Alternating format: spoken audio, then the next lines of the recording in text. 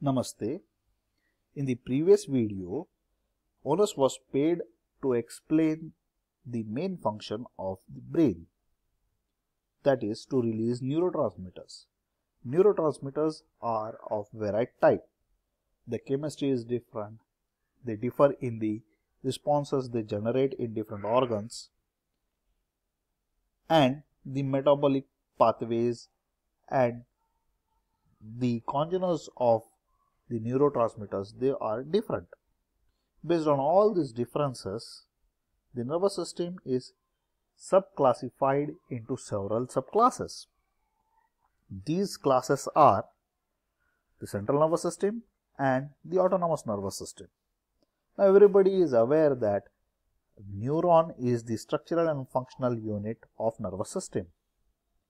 It is where one neuron ends, another neuron starts from the synapse. The part of the nerve ending which culminates into the synapse is called presynaptic nerve ending, whereas the part of the nerve cell which starts from the synapse is called the postsynaptic nerve ending. A connection between these two is established by the neurotransmitters released by presynaptic nerve ending into the synaptic cleft. Let us see the different neurotransmitters. The autonomous nervous system is classified into the sympathetic system and the parasympathetic system based on the different neurotransmitters they released.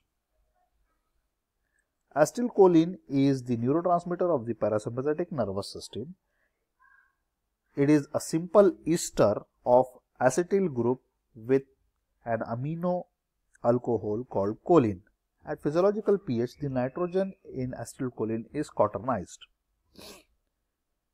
Norepinephrine is the neurotransmitter of the sympathetic nervous system. The chemistry of norepinephrine is very simple.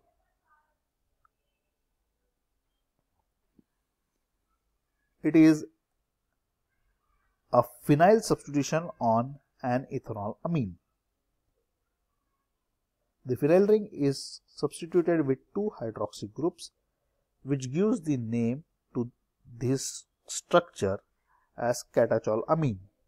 Indeed, norepinephrine is a pioneer catecholamine, a prototype for all other congeners. A section of brain, a part of CNS, is called the dopaminergic system which releases neurotransmitter dopamine. Dopamine really resembles in the structure of norepinephrine. Indeed, it is also a catecholamine. Another system in the brain is called serotonergic system. This system releases the neurotransmitter serotonin. The chemistry is different from those seen till now. It is a decarboxylated derivative of amino acid tryptophan with a hydroxy substitution on position 5 of the indole ring. Hence, it is also called as 5-HT, 5-hydroxytryptamine. GABA, that is gamma aminobutyric acid, is the inhibitory neurotransmitter of brain. Let us have a pause and we think over these two questions. Why do different neurotransmitters trigger different responses?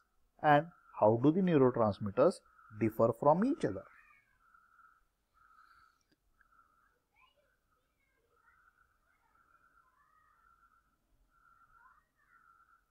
Welcome back. The simple answer to the questions which were asked when we left is that the neurotransmitters differ in their chemistry.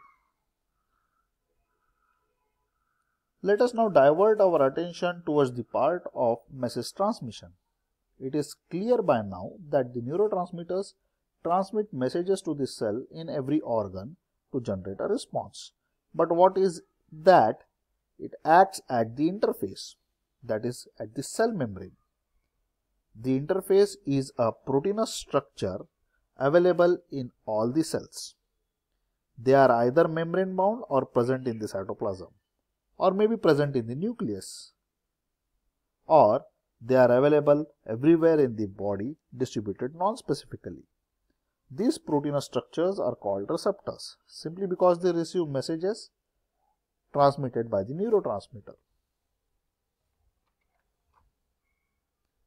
These receptors are membrane bound ion channels or single stranded 7 trans membrane GPCR or single stranded membrane bound enzyme coupled receptors. The receptors may also be present in the nucleus. They are called the nuclear receptors. They regulate the process of cell division, also the nucleic acids. These are present in dissolved state into the nucleus.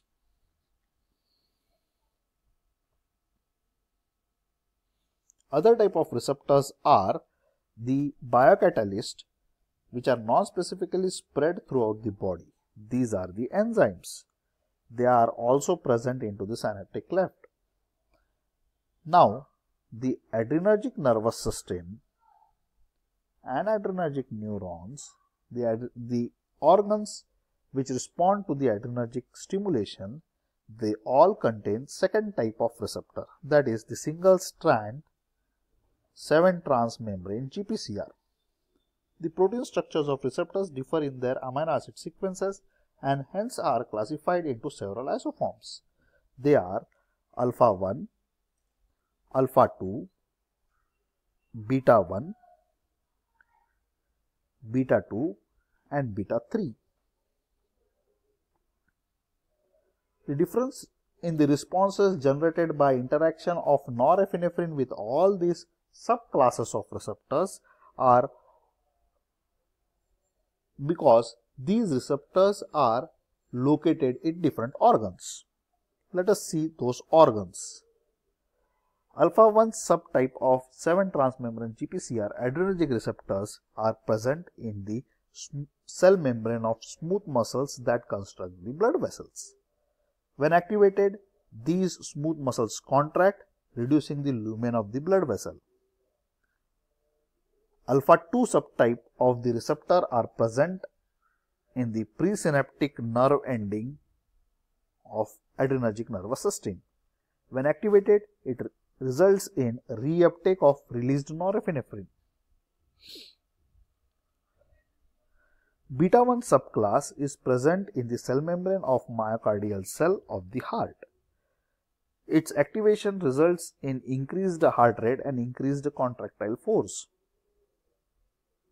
Beta 2 receptors they are present in the cell membrane of smooth muscles that make up the bronchi. Activation of beta 2 relaxes the smooth muscles and thereby increase the oxygen intake. Beta 3 receptor subtype has been recently identified to be involved in decreased lipid content. It is involved in lipid metabolism and they are supposed to be present on the cell membrane of adipose tissue. Now, by now it is clear that a simple structure, simple catecholamine like norepinephrine is controls different actions in different organs just because different it interacts with the different subtypes of the receptors which are available in all these or organs. It interacts with the receptor which triggers a cascade of reactions and brings about the action. These different systems are hence regulated by the adrenergic system and this regulation is brought through the neurotransmitter norepinephrine. This has been abstracted from Foy's Principles of Medicinal Chemistry, 6th edition. Thank you.